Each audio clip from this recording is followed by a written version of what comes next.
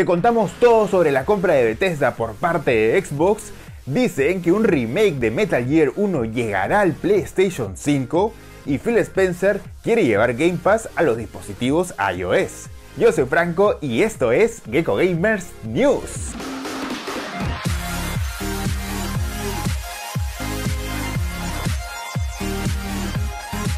El día de ayer, martes 22 de septiembre, empezó la preventa de Xbox Series S y Xbox Series X, y en gran parte de Europa se agotaron. Varias tiendas de la región reportaron que en minutos se agotaron las consolas de Microsoft.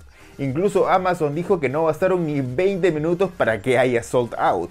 Pero como no era de esperarse, los vivazos de los revendedores ya la pusieron en eBay a más de 700 dólares. En cuanto a nuestra región, bueno, sabemos que en Perú no iban a llegar de lanzamiento menos en preorden, pero en México era uno de los países donde estaba programada esta preventa y lamentablemente se ha retrasado y aún no dicen cuándo, así que ahí los amigos mexicanos van a tener que esperar un poquito para poder preordenarla. Y la nota anecdótica, graciosa y hasta medio triste es que las ventas en Amazon del Xbox One X aumentaron en un 747%, así que lo más probable es que la gente se haya confundido entre Series X y One X. Bueno, es lamentable porque en verdad está súper confuso los nombres y bueno, de repente la gente que está un poco más metida en este mundillo sí las puede diferenciar, pero el papá que va a comprar a sus hijos y, y el hijo le dice, sí, que quiere una X, una X ve, ah, Xbox One X está a 400 dólares, está más barato, entonces la compro. Y ahí se fregaron. Hay un problema de comunicación que tuvo Microsoft que ojalá que no se siga repitiendo. Bueno, pero en Amazon existe la política de la evolución, así que no creo que haya gran problema, solo que es un poco gracioso y medio triste lo que ha pasado. Project X Cloud es uno de los productos más ambiciosos de Microsoft. Con este los usuarios podrán jugar más de 100 juegos de Game Pass en la nube. Este servicio ya está disponible, pero solo en dispositivos Android. Sin embargo, Phil Spencer, jefe de Xbox, quiere seguir luchando para que Game Pass llegue a los dispositivos de iOS.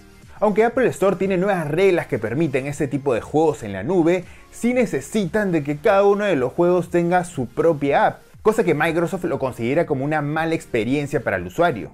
Por su parte, el buen Phil Spencer, jefe de Xbox, dijo en una entrevista a CNBC que están muy comprometidos para llevar Game Pass a todos los dispositivos, incluso los de iOS. Así que asegura que van a continuar con las conversaciones con Apple y cree que van a poder llegar a una buena solución. Después del problema de Apple con Epic Games y todo lo de Fortnite, que bueno, ya lo conocemos, está un poco verde que esto suceda, pero hay que confiar en la muñeca de Phil Spencer.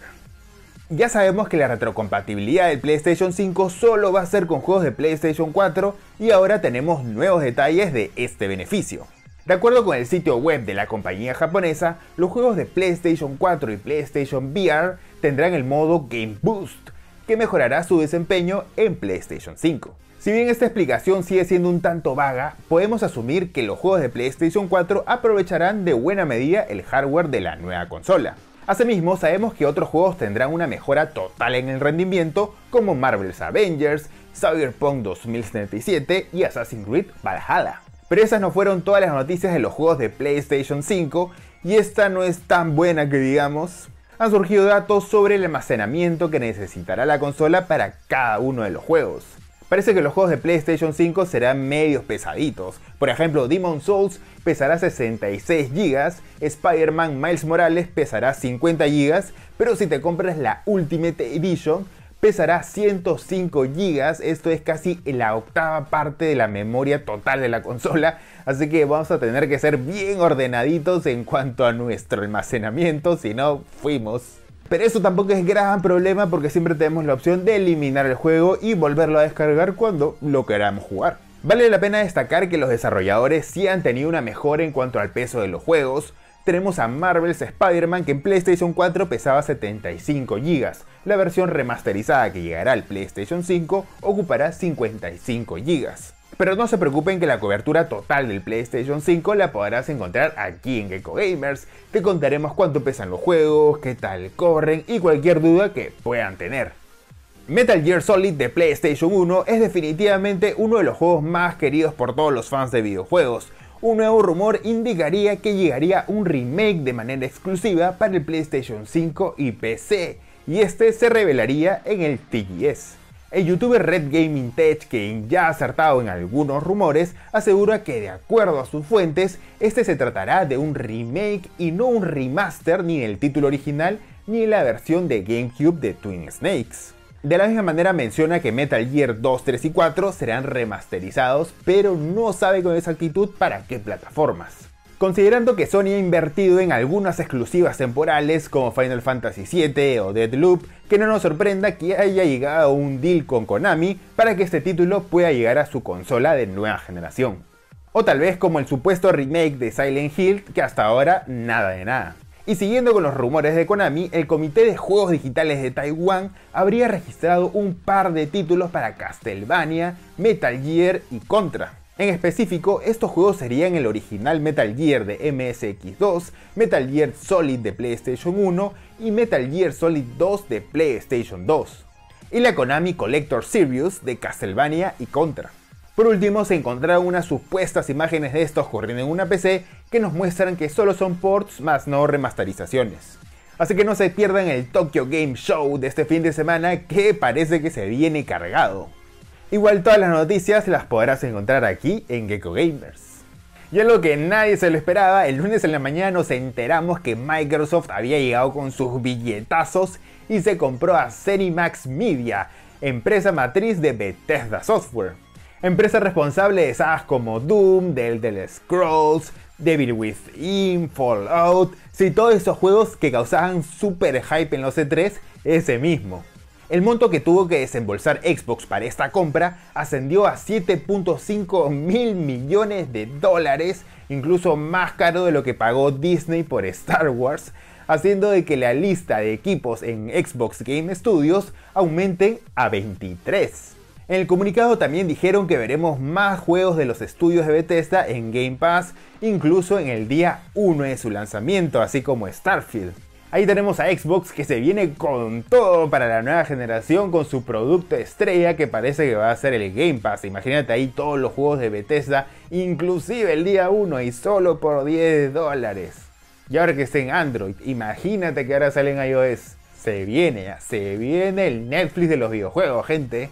Pero sabemos que Bethesda no solo son desarrolladores, sino también son publishers y Peter Hines, encargado de marketing y comunicaciones, salió a decir de que Bethesda seguirá publicando sus juegos como lo hicieron en los últimos años.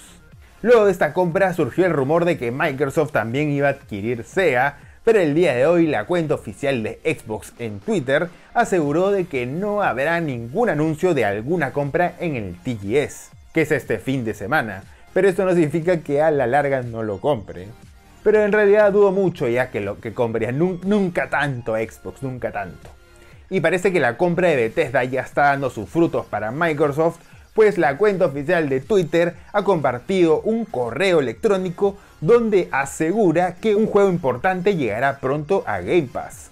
Y un fan descubrió el mensaje oculto de Slayer is Coming haciendo total referencia a Doom. Y esto lo ayuda al ajustar la iluminación en el mensaje. Y aunque todavía no es 100% confirmado, menos sabemos si se trata del Doom del 2016 o Doom Eternal, tendría que ser Doom Eternal, pues ahí sería un bombazo para el Game Pass.